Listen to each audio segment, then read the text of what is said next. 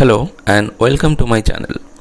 When building your first quadcopter with the goal to have a simple low-cost aerial platform for photo and video with advanced feature like rock-solid position hold, RTH and mission capabilities, the first thought may come to your mind to build this, a 450 size. I also did start it with the 450 size which I built around 4 years ago and it's extremely stable and reliable. But it's quite big and weighed around 1 kg and very difficult to transport whereas these 250 size is small, have less weight and can be transported in your backpack. The big advantage is flight time.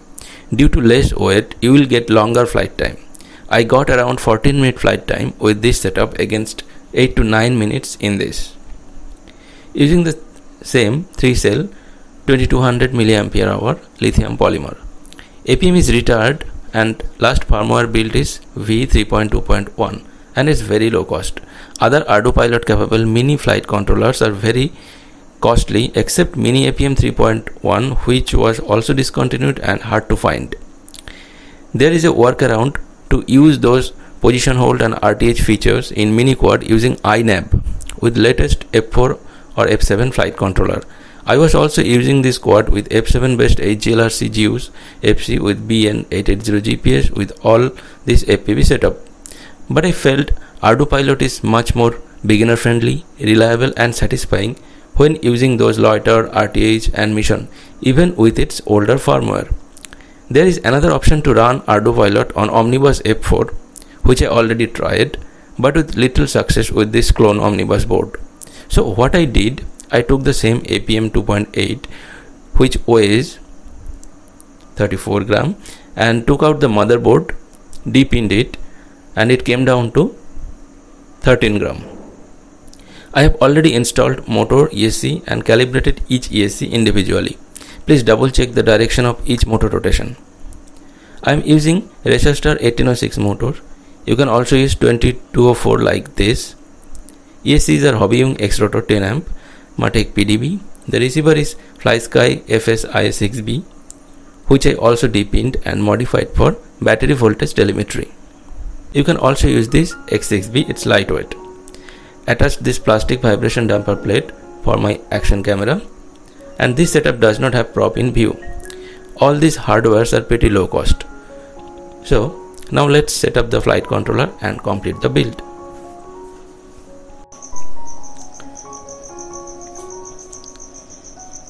For the calibration of the accelerometer, I will put it in its case and connect it to the computer. Now before calibration, you need to check the level of the surface. It should be perfectly level and now connect it to the computer and launch the mission planner.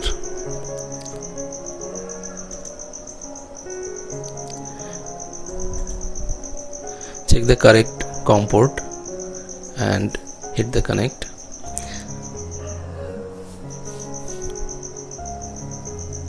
It will take some time. And okay now it's connected. Now uh, first time check the messages.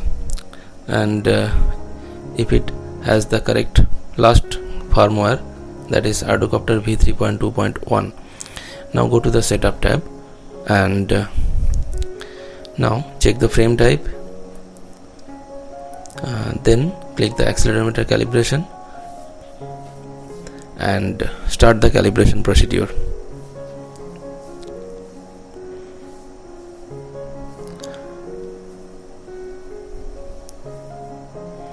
Now place the FC as per the instruction.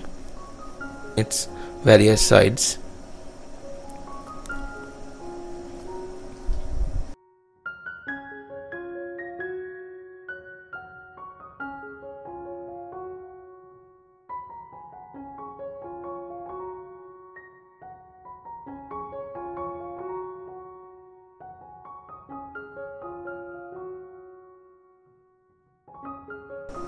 okay.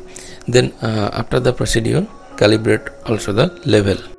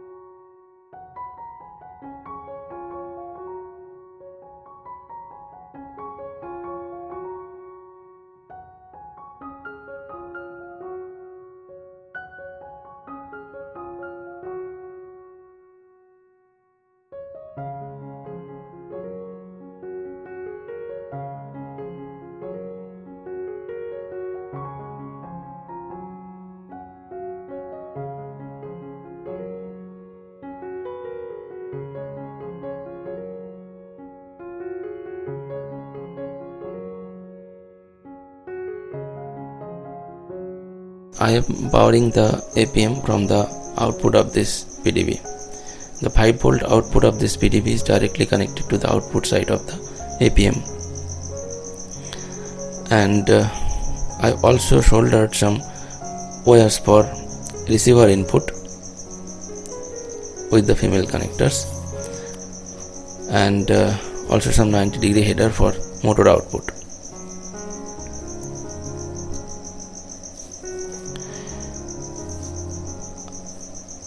I'm also using some uh, nylon standoffs on the default holes for the top plate mounting and also some rubber vibration dampers. And uh, these four holes actually aligned with the holes provided for the FC so now I will connect it and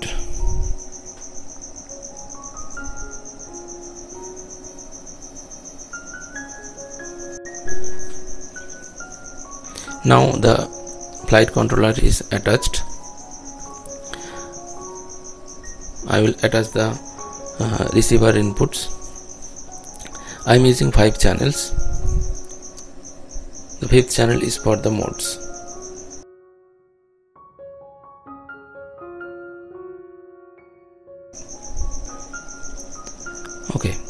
now notice the motor layout. 1 2 3 4 and connect it accordingly. This is 1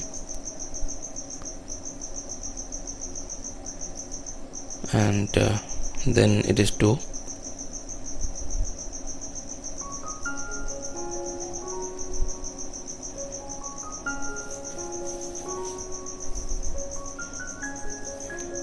3 and uh, likewise the fourth.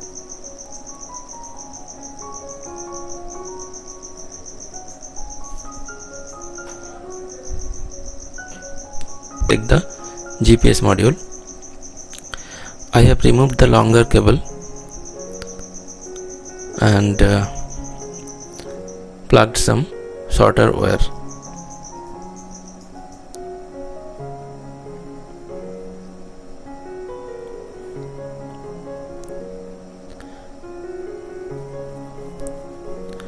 I will uh, put some glue there to make it permanent.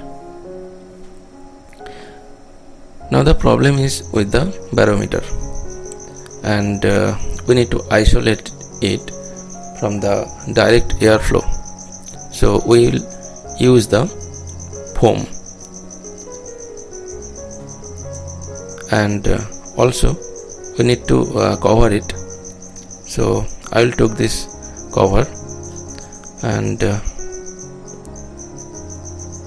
put it on top of this.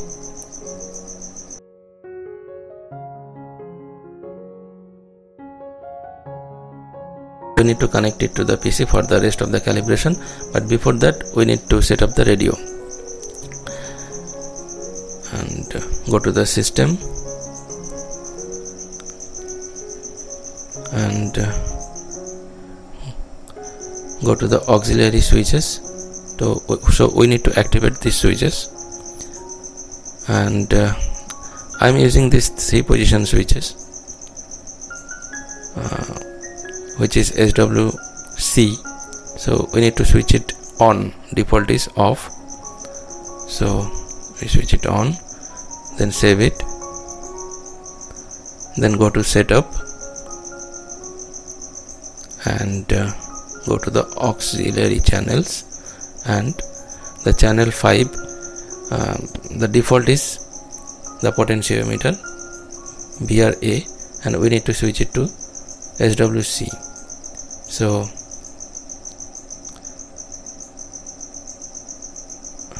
okay now um, this is selected and save it. Now go to display and see all the channels are working accordingly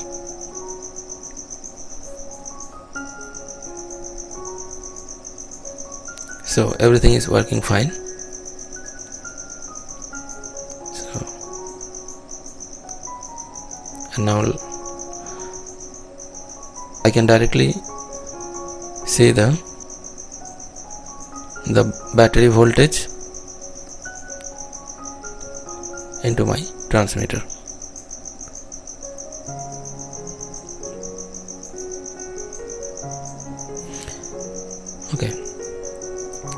so let's connect it to the computer.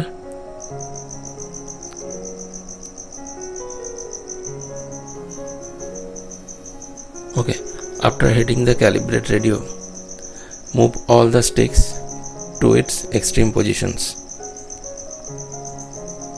and also the switches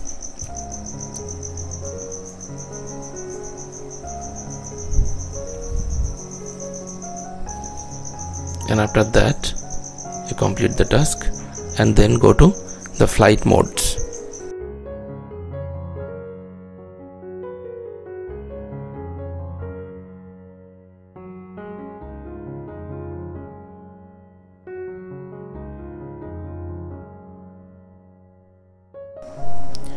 Now for the flight modes, you need to select the flight mode 1, flight mode 4 and flight mode 6 for this 3 position switch. And I have selected stabilize, loiter and RTL mode on this switch. So complete it.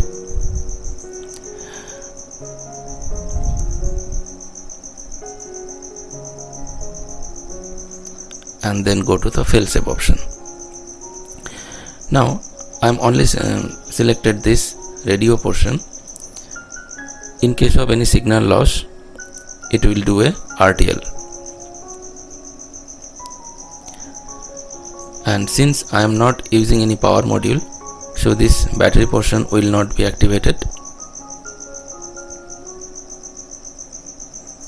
And then this is all. Uh, so you need to set the accelerometer calibration compass calibration radio calibration flight modes and failsafe this parameter will serve the basic purpose. Let's go to the field and check how it flies and also some video footage. Thanks for watching. If you like my content please do consider subscribing. So i'm here at the field. It's six o'clock in the morning and uh, I have connected my action camera with zip tie. And finally using this Gemfan 5125 propeller and uh, I'm using this 850 milliampere hour 3 cell for the testing today. And uh, okay let's see how it flies. Now let's and uh, let's I'm in loiter mode. Let's start the thing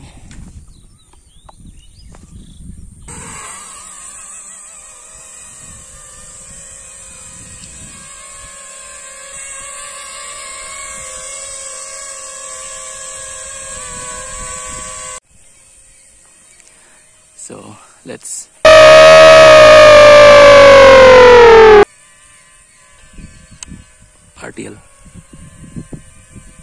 oh it's coming back.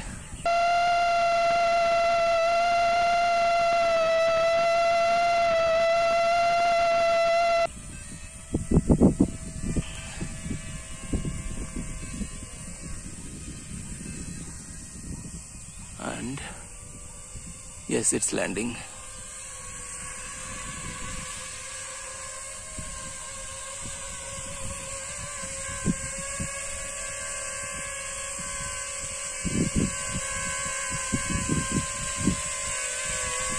get into the hover position again